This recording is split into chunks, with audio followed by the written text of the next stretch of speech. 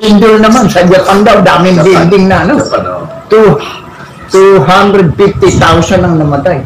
Oh, Marami naman. Dami. Marami yun. Dahil dun sa lakas ng lindol. Dapat talo sa amin yun. Sa Sorsogon. Oh. Lumindol. Oh. Walang gaano namatay dahil wala namang mga building na malalaki ron. Oo. Pero hanggang ngayon, nagpapataya ng tao.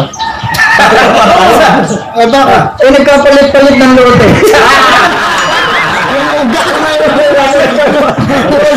Ang may yung lote ko, napunta lumang bayan.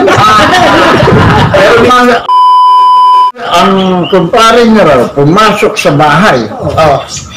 Ah, pagpasok dito, inikot hanggang kusina. Oh. oh. Sa luwang ng bahay. Oh. Pumasok ng lunes. Oh. Nung lumabas ng bahay, oh. Miyerkules. Aba, tatlong araw. Tatlong araw inikot yung bahay. Napakalaki ng bahay. Lawak ko. Wala yan. Wala yan. Wala sa lolo ko. Oh. Bakit? Lolo ng kumpare ko. Oh. Abay, pumasok ng 1965. Oh. Eh, sa isang taon pa, lalo. Eh, nasa Muntinlupa.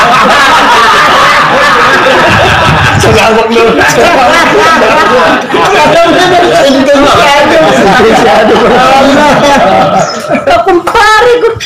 1965, pumasok. Oh. Nang lumabas? Eh, sa isang taon pa. 2022. Hindi lang ba? Eh, Muntinlupa yung pinasok. Malaki pa. Wala.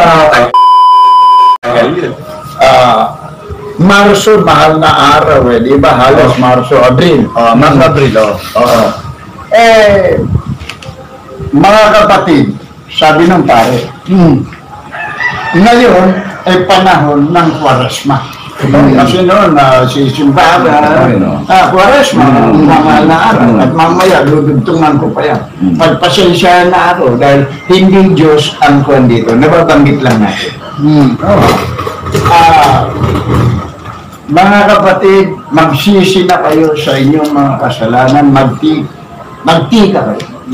Sapagkat ito, ah, itong panahon na ito, ang sakripisyo ng ating Panginoon. Okay. Dinipahan tayo ng Panginoon. Oh. Lahat ng kasalanan natin, Totoo yun. sinapit. Totoo. At nagdanas yan ng katakot-takot na hirap. Totoo. Pinasa ng krus. Dinala sa bundok ng Golgotha. Totoo. Oo.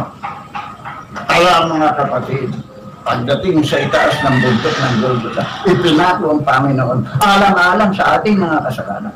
Kaya bibigyan ko kayo ng 20 minutos. Hmm. Nasa simbahan. Hmm. Magtika na kayo sa inyong mga kasalanan.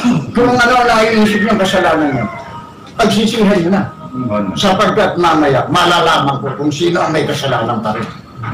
Sana, hindi ng pare. Lahat, naku, naku, mga nakapitik. Nagpupo na, nagsisisi sa mga kasalanan. Oh. Oh, pagkaroon ng 25 minutos, makikita niyo ba itong bola na ito? Gamit ng bola ng basketball. Nakikita niyo ba ito? Hmm. Ito'y itatapon ko sa loob ng simbahan.